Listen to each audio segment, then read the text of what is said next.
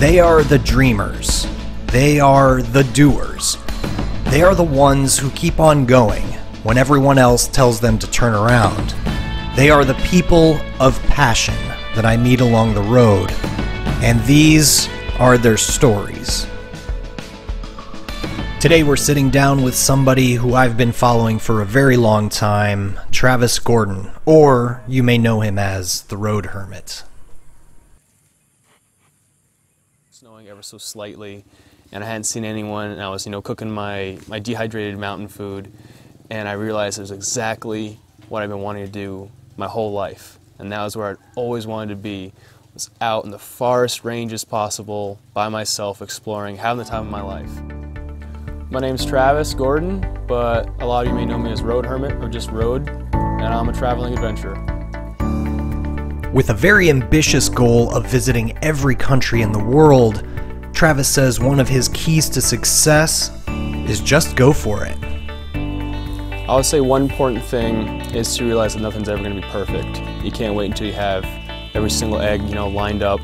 Nothing's ever going to be perfect. You can't wait until that moment. So you prepare as much as you can and give yourself a deadline. You know, say I'm going to be ready as I can by this point, and when you reach that, you go for it. You know, unless there's some serious holdback, like you don't have your passport or something like that, nothing's to be perfect. You have to push yourself to get ready at that point, and then just go for it. Whether Travis knows it or not, his biggest key to success is the quality of his character. One meeting with Travis will leave you infected with positivity. He's the type of guy that you can really count on. And no matter what the situation, he's going to put on a smile and make the best. Ah, the beautiful jungle of Cambodia. Tall grass, red dirt, broken bikers.